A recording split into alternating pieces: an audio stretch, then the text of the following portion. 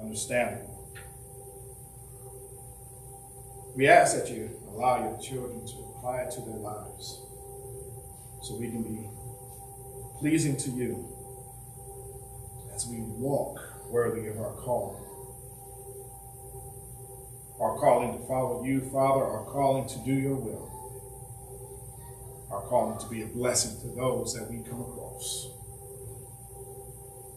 We ask, Father, that you, you bless us from the top of our heads to the sole of our feet, with the energy, with the heart, to want to do your will. Today we ask that you, with the words of our mouths and the meditations of our hearts, be acceptable on thy sight. O Lord, our strength and our Redeemer. And let all of God's children say amen. Amen. Amen. Amen. Amen. Give the Lord a hand clap. Amen. If we can turn to the book of Ephesians, Ephesians chapter 4. Ephesians chapter 4, verses 1 through 6. Ephesians chapter 4, verses 1 through 6. Ephesians 4, 1 through 6. When you have it, say amen. Amen. Ephesians 4, 1 through 6. Now I'll be reading from the New King James Version.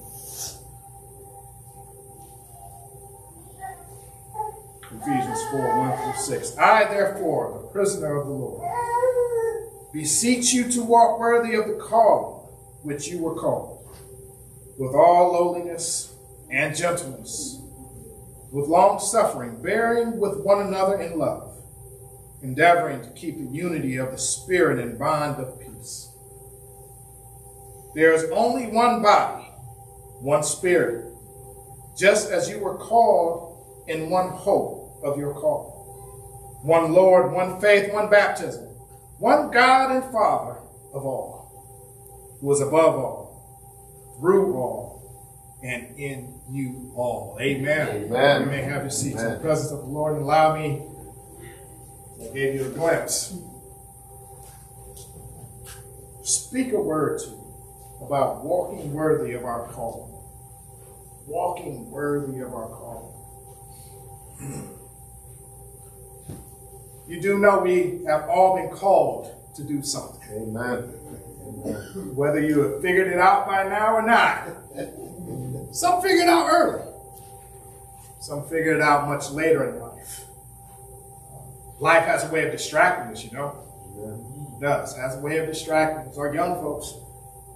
It seems like there are more distractions on the, the younger side of things. And then as we kind of weed through life and fast living and all the fun, because yeah, my younger years were fun. Don't, don't, don't get me wrong. But they were distracting as well. But we have to understand that through it all, once we mature spiritually, once we mature, there's a calling waiting for us at the end of all of this fun and fast living. Amen? Amen. We have a calling. God has blessed us with gifts as well. Can we agree there? Amen. Amen. Some of us have been blessed with the ability to pick the right note at the right time. Amen. Some of us have been blessed with speed, with athletic ability. Some of us have been blessed with Mensa level intelligence. Yeah. We've all been blessed with something. God has given us all something that can be used in our calling. But here's where our calling fails. Here's where it gets derailed, where it gets sidetracked. Let me use this as, as a way of illustration. In order for the body, the body, physical body, to move forward walking, the left foot has to cooperate with the right foot in order for us to move forward. So far, so good, everybody? Amen. But it's not just the foot's job to move us forward because each foot is connected to a leg. So now you've got not only right foot, left foot, you've got right leg, left leg that have to cooperate, that have to be on the same page. How about that? Mm-hmm. And moving forward. But what happens when the right foot wants to run and the left foot says, I want to walk? you will fall. Right? but all of them move in accordance to where the head says go. Follow me. I believe that universally, whole, we can get so much farther if all the members of the body would just cooperate with the head. Amen. Amen. The head knows where he wants to go. He, he has the eyes because I've never seen a foot with an eyeball. the head sees it. He knows where he wants to go. He's, he's thought about the direction he wants to go in. Just think about this morning at Sunday school. We were talking about the life of David. And the scripture talks about David being born, his birth being planned even before he was born. Amen. So if there's enough thought and process that goes into your birth, how much thought and process goes into your walk? Amen. Amen. Amen. So we have to understand that that that the head of things, God, He has ordered our steps. Now, I understand that where He's taking you, where He is pointing you to go in, it may not look comfortable. It may look a little unsafe. It may not even look fun for our young folks. Because why else would we want to do it if we can't have fun? But understand this. Those things in life that I wanted the greatest were probably not the best things for me. But what God wants for me is always the best thing. Amen. Amen. Amen. He's always been a provider for me, even when I act like he wasn't there. He's always ordered my steps. Now, he let me get some bumps and some bruises along the way, that's life. But he let me understand some things in those bumps and bruises. He showed me what side of the bread my butter was on. He showed me where my blessings came from. Mm-hmm. And I didn't learn until later on in life, after a bunch of good living and some fun and some hanging out. I didn't learn until after all of that when I was able to slow down and listen to him. Exactly what my calling in life was. Have you ever, those of you who are driving, that's everybody. Have you ever did more, did more than the speed limit?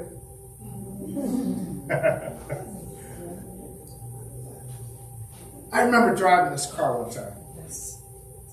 And um, a friend of mine said, hey, pulled up in my yard. He said, hey, just got this new toy. I'm like, okay. It was a BMW. It was a 5 Series BMW manual. I love a five speed. That's how you keep um, car theft down is make them all manual. Right. These kids nowadays don't know how to drive a manual, right? So we got in the car and we, we took it out on the road and I, and I stepped on the gas and, and oh man, I was in third gear, 95 miles an hour. Third gear. I threw it in the fourth. I got up to 110. And I said, I got to stop this. This is getting good. This is getting too good for me. He said, Oh no, my friend, you got two more to go. Man.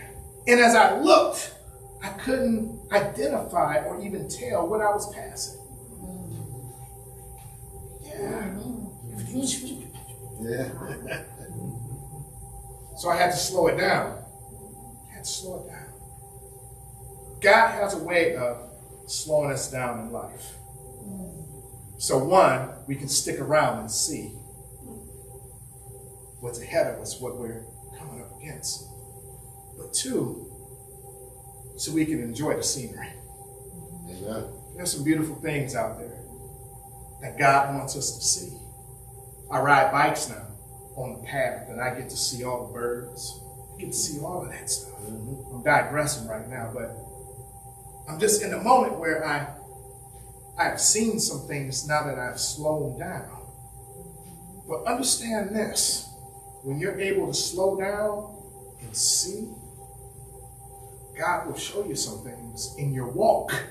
Amen. Amen. Some blessings that were so much better than all of that speed that I was just dealing with. So, what happens? What happens now, Pastor? What happens in this whole thing called life? What happens in this calling? Because you know our calling sometimes we the foot doesn't want to cooperate with the with the arm and and, and, and the leg doesn't want to oper- want to want to cooperate with the elbow get out of your own way because sometimes it's the members of the body that get in the way of the body moving forward amen Amen. the members, the parts, the pieces of the body. So, so what we're talking about is us coming together. That's the prayer. 31 days of prayer. That is the prayer that we come together as a body so we can move forward easier. Amen. Amen. Amen. So, in the pursuit of godliness, we must always prioritize our purpose. What is your purpose today? What is your purpose in the body of Christ? The Apostle Paul urges the Ephesians, the church in Ephesus, to walk in a manner that's worthy of their calling. It's worthy of their calling. This is not just any walk. This is not just you out on a stroll, but a purposeful progression towards the likeness of Christ. Understand this. The end result is you to be as like Christ-like as possible. Not as deacon-like, not as pastor-like, not as first lady-like, but as Christ-like as possible. Amen. Amen. Amen. Every step, every action, and every word should reflect the divine calling that we have received. So far, so good, everybody. Amen. Our Christian journey is a persistent pursuit. It's an everyday activity. It's not something that we can only plan and say, I'm only going to do this on Monday, Wednesday, and Friday. I did enough on Sunday, so I'm going I'm going to come down off my pedestal. I'm going to put that on the shelf on on Monday, like like the hairdressers. You you'd be hard pressed to find a hairdresser open on a Monday. So all of a sudden on Monday, we put things aside. I'm just going to pick it back up and, and I'm going to do my best on Tuesday. How about that? This is a persistent, everyday pursuit. It requires this thing called endurance. We are called to the lives that continually seek to embody the character of Christ, who exemplified humility. How about that? Gentleness and patience. Gotta have patience. That's what I struggle with. Gotta have patience. Gotta have patience. Our walk should be consistent with the high calling that has been extended to us through grace. But the path that we walk, the path that we walk is a direction. It's a pointed path. It, there, there's a goal in mind. It's, we're not just moving ahead to land somewhere out there. We are going towards a goal. And that goal is directed by the Holy Spirit.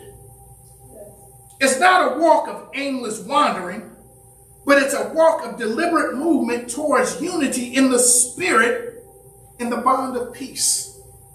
If you are connected to somebody and you have no peace in that connection, maybe your connection is a bad connection.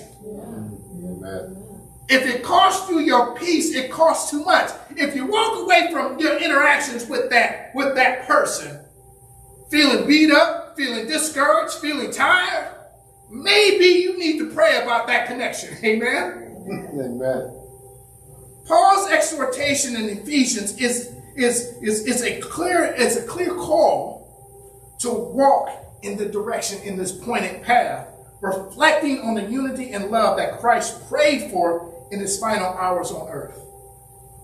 But we have to understand that there is in the body of Christ that there is a unity that well no let me let me back up strike that from the record there should be a unity in spirit Amen. amen Amen.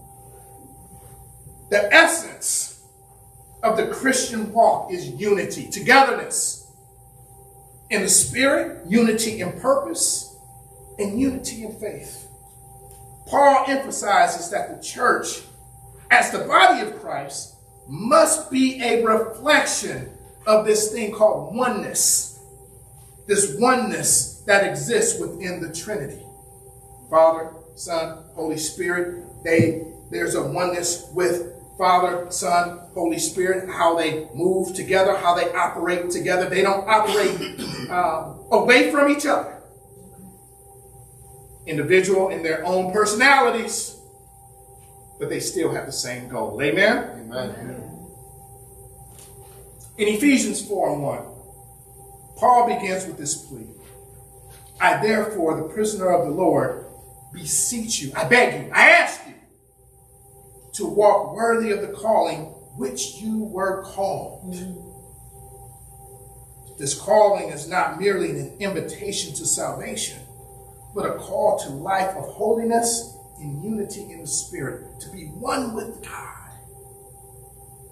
Paul, writing from prison, urges the Ephesian believers to live in such a way that their lives reflect the character and mission of Christ.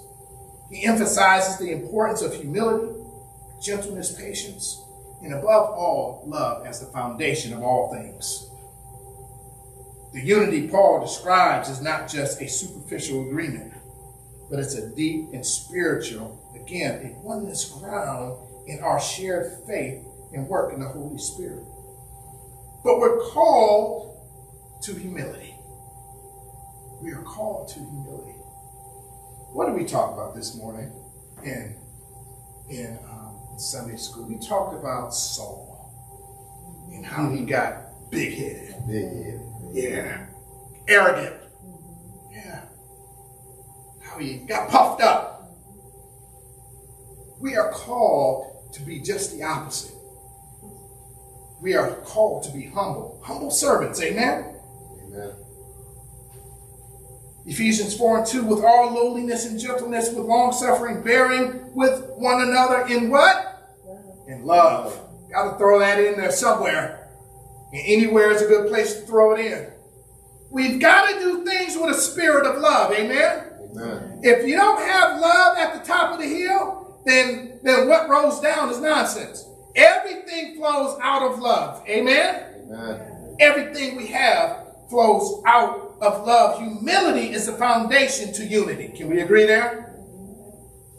Humility is the foundation to unity. Pride divides, but humility unites. Jesus is the ultimate example of humility. He washed the disciples' feet, demonstrating true greatness in the kingdom of God is found in serving others. Amen. Serving others. We are called to emulate his humility in our interactions with one another, considering others more significant than ourselves, as it says in Philippians 2 and 3. Humility leads us to a place of servanthood. We were saved to serve. Serve. We were all saved to serve. And in that place of servanthood, we can truly bear one another's burdens in love and fostering this spirit of unity. The only way, the only way we are going to reach the world is to reach it through love. We've got to let the world know that, yes, we love you. We care about you. How can we help you in your plight? How can we help you in your walk? Let us partner together. Let us grow with you as you grow with us, as we grow together in the name of our risen Savior. How about that? But we are also called to gentleness. Matthew 5 and 5 says this Blessed are the meek, for they shall inherit the earth. Gentleness or meekness is not weakness, but it's power under control. Amen. Mm-hmm. It's power under control. It's the disposition of Christ, who was gentle and lowly in heart. Now, gentleness allows us to approach others with kindness, even in correction. Even in correction. Maintaining peace and unity within the body of Christ. Now, by embracing this thing called gentleness, we create an environment where grace abounds, where grace is the overflow and unity is preserved. You can be a leader, you can be the one that's called, and have to administer correction, but there's nothing but love wrapped around that correction. Amen. You don't have to be rude to be right. Amen. And just because you're right does not give you the license to be rude. We have to do things in the spirit of love. Whatever we're doing, I, I'm correcting you not because I hate you, but because I love you. Listen, if you're doing what you're doing, and the Lord does not correct you, you may want to consider whose you are. You may want to consider that. I can't correct somebody else's kid. I correct mine because they know I love them. Y'all better stop. I correct my kids because I love them. I'm not saying I don't love the, the neighborhood kids or anything. If I, Kevin, if I see you stepping out of line, I'm going to say something to you. Now, whether you hear it or not, that's totally on you. But I'm going to correct mine. Our Lord and Savior corrects us because he loves us, because he wants to see us do better. Amen? And if we know better, then we do better. We can't hold somebody accountable to a standard if you haven't taught them. Amen. Amen. So when they come through the doors, when they come to the doors as they are, that is not the time to admonish. That is not the time to judge. That is not the time to send somebody packing and tell them to put on something different. That is the time to wrap your loving arms around them and welcome them in this place. Amen. Amen. This is a hospital. This is a place where they get healing. This is a place where they get cleaned up. The world has already shown them what, what it's going to do with them. They came in the doors the way that way. It's our job to, to show love, show the love of Christ. Amen? Amen. but finally, there's a call to patience. I said this before. I that. That's, that's, that's a tough one right there. That is. There are things that are tough for everybody. Amen. I'm just being a little transparent. Maybe it's too much so right now. but there's a call to be patient. Ephesians 4 and 2 says this with all lowliness and gentleness, with long suffering, bearing with one another in love. Grace patience is essential in maintaining Everybody isn't in the same place at the same time all the time. Amen? Amen. We are all going to get there eventually, maybe at different times. How about this? Leave no one behind. Remember that whole slogan with the schools? No child left behind. How about no soul left behind? Amen. How about no soul left behind? Because I think the The gospel is for everybody. Whether you are super intelligent or not. I'll just say that. Whether you are the CEO or the janitor, the gospel is for everybody. What happened during the dark times, the times between the Old Testament and the New Testament? This thing called Koine Greek was, was K-O-I-N-E. Greek was created, a language that everybody understood because before then, the language so, was so far above the farmer's head, that language was so far above the shepherd's head, the language was so far above the average person's head that they couldn't understand it. So the language was created. Why? So everybody could hear the word of God. Everybody. Jews and Gentiles alike. That was everybody. Just as God is patient with us, not wishing that anyone should perish, but that all should reach repentance, we too must exercise patience with one another, allowing the Holy Spirit to work in our lives. If God threw you away when he got tired of you a long time ago when you first messed up, where would we be? Amen. I don't even think I'd be here. There would be nobody preaching and preached to in the pews. Yeah. God gives us, he, he, he's that example of giving patience. Patience. Patience. No, let, let me flip that and change the grace. How about that? Amazing. Yeah. He gives that grace. He gives us grace, the grace that we need to, to get it right. To do better. How about that? Yeah. Patience fosters an environment of grace where unity can flourish despite our imperfections and differences. Yes.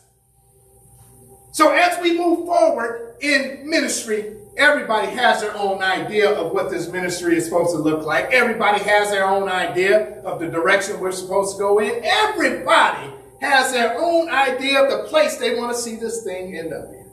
Amen. But we've got to embrace, we've got to embrace each other for our differences as well as those things, our commonalities that bring us together. Amen. Amen. Unity in the Spirit is the hope of the church. Paul concludes with a powerful declaration. Here it is. There is one body, one spirit, just as you were called in one hope of your calling. Here it is. Here's, here's the money verse. One Lord, one faith, one baptism, one God and Father of all, who is above all and through all and in you all. Amen. Amen. Amen. If we can get on the same page in keeping the main thing the main thing, and that is God Himself, what do you want us to do here, Lord? Where do you want us to go, Lord? How do you want us to do it? And in all of that, if we're obedient, bring us the people to minister to. That's all we're asking.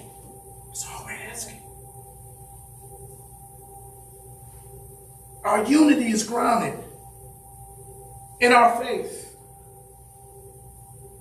Our faith in, in Jesus Christ. The one who calls us to this shared hope, this shared faith, this shared baptism. And as we walk worthy of our calling, we must always strive to maintain the unity of the Spirit in the bond of peace. This unity is not optional, everybody. This unity is not optional. It's the very nature of the church. It's the very nature of the body of Christ. And, and we are called to reflect the togetherness of God to a divided world. We are the example. We are the example. Our unity is sacred. Got to protect it. My dad used to tell us when we were younger, um, don't talk about what goes on in this house.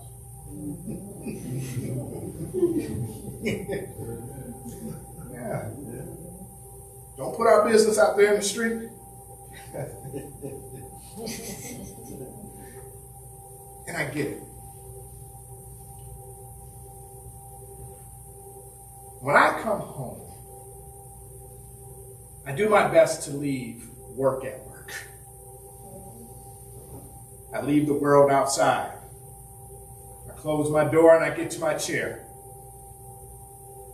That's my protection. That is my peace. Amen. Not saying that when I close the door that nothing gets done. But that's where the Lord speaks to me. And that's where I'm closer. So quiet. I've slowed down. And I've locked all the distractions out. Mm-hmm. The Lord is telling us to do one thing and one thing only.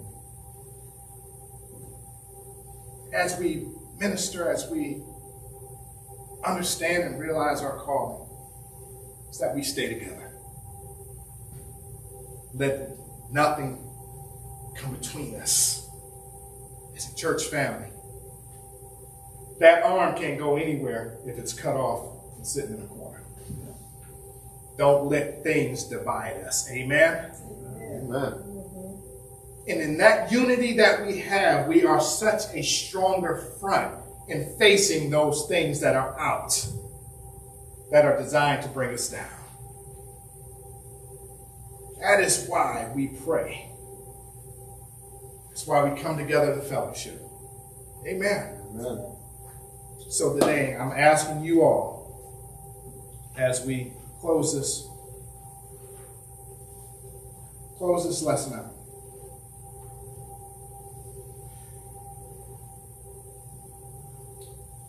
Do you know what your calling is?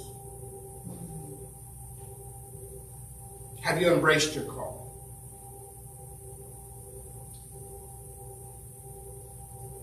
What is stopping you hmm. from your calling?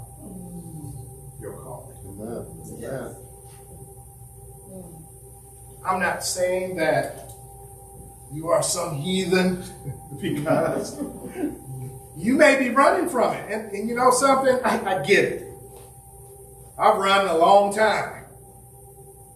But you can't outrun God. You can't. You can't outrun God. I want to pray with each and every one of you today. Number one, that you find and embrace your calling. Number two, that we draw closer together so we can do greater things for Him. Amen? Amen. What I ask today in my prayer, I pray that God gives us the peace to and the energy to do it. Amen. Amen. Together. Because I love y'all. And I'd rather do things with you than against you. Amen? Amen. Amen. Amen. We should never be against each other when it comes to doing God's will. So today, if you have found yourself outside of this covenant relationship, this partnership, this unity that we have in the church, I want to pray with you. I want to pray that you find your way, that you find a place that, that's peaceful. Find a place that, that leads you to, to Christ and your calling for your life. Because once you find that calling, I trust me, I, it, it, it's a beautiful thing. Stop running and let the Lord wrap his loving arms around you so you can start doing his will and not thy will. Amen. Amen. Father, we bless you today. We thank you. We thank you for this gathering of your children, Father. We thank you that you have given each and every one of us a calling. You have given us gifts. You have given us a calling, Father. You have given us a direction. Now we ask that you open our minds and our hearts, Father. You give us the, the hearts to want to do. The calling is still there. But place in our hearts, Father, the willingness and the, the humility to want to do, Father, to want to be pleasing to you, to simply want to do your will. We love you today, Father. We bless you for all of those that have gathered here today. We and we ask that you that you present your, your people. You present your people with the love and the patience that it takes to honor you, to glorify you, and to fulfill your will here. We love you. We bless you for all that you have done. Today we ask these prayers to be answered in your Son, Jesus' name. Amen. Amen. Amen. Give the Lord a hand clap of praise in this place. Again, if you have found yourself outside of that covenant relationship, um, and you are seeking a church, you are seeking a church, Grace Community Church is a great place to be. Um, we start, uh, our morning service starts at 11.30. Sunday school, 10 a.m. every Sunday. Amen? Amen. Um, join me this Wednesday. This Wednesday, we are back at it with um, our midweek Bible study fellowship. Uh, we kick things off at 6.30 with prayer. Wherever you may be, whether you're the, at the gas station, at the grocery store, or you're just on your way home, or just relaxing in your chair at home, pray with us at 6.30 to 7 o'clock every Wednesday. Every Wednesday. And then we kick off our midweek Bible study at 7 o'clock. Um, again, next Saturday, the 17th, back to school picnic right here at 1908 West 20th Street in the city of Lorain, Ohio. Bring all the kids. And I was asked yesterday, what if my kids aren't in school? Bring them anyway. Bring them anyway. We, we, we, we are opening the doors. We are welcoming the neighborhood. 1908 West 20th Street in the city of Lorain, Ohio. I am giving you a personal invitation. I want to see each and every one of you there. If you are out there listening and are able to be here, you will be blessed. Amen. Amen. Amen. Amen. Amen. And the following day, we will have guest preacher for my third uh, pastoral anniversary, um, uh, Pastor Eddie Coates and his lovely wife, Dr. Tamara Coates. They will be visiting us next week and blessing us for next week's anniversary service on the 18th. Again, that service starts at 11:30. Amen, everybody. Amen. Amen. Sister Brown will be in the back. She will be registering people for the elections. We're registering people to vote, um, checking to see your voter, uh, your eligibility. If you if you are registered or not, she will be hanging out with us just for a little while afterwards. Sister Can I just add to that announcement about Sister Brown? Sure. Is that what a lot of people don't realize is that the state of Ohio this past year purged seven thousand people from the voter rolls. Wow. Purge means they went in, they took them off, they hadn't voted for four years, they had a different kind of address. Sure. So a lot of people think they're registered, but they're, they may not be registered. And what I would um, just to add to that, even if you have moved, changed your name, or done anything over the last, I would say, six to eight years, you want to check. You make sure you want to check with Sister Brown, or if you're out there listening, check to make sure you are still registered or to re-register because they have done some purging. I heard that as well. They have done some purging of the roll, and you may be one of those unfortunate individuals that they purge from our rolls. Yes, Sister And to check the audience there, they can go to voteohio.gov. VoteOhio.gov, that's where you can check on your own if you are registered to vote. VoteOhio.org, Gov. dot gov, dot gov, if you are to check um, your voter eligibility. Amen? Amen. All right, let's all stand and be dismissed. Let's all stand and be dismissed.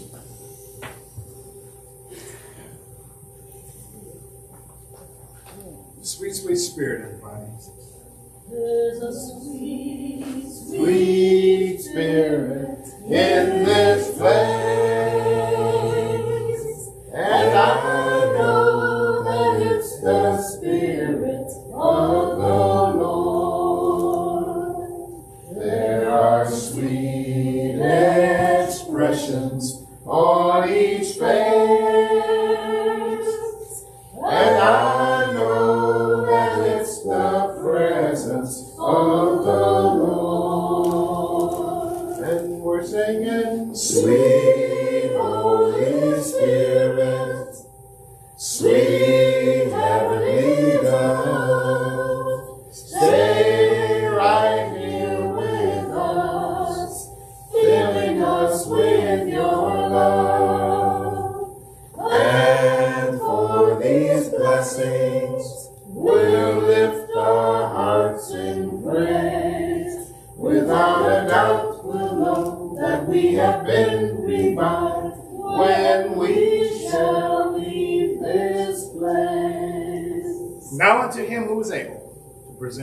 Present you faultless before the presence of his glory with exceeding great joy, to the only wise God, our Savior, be majesty, dominion, and power, henceforth, now, and forevermore. Let all of God's children say amen. Amen. Amen. Amen. And hey, everybody, have a great week, and I'll see you next Saturday. Amen. Amen. Amen. Good day, Pastor. Good service. Sir. Good. Bless you.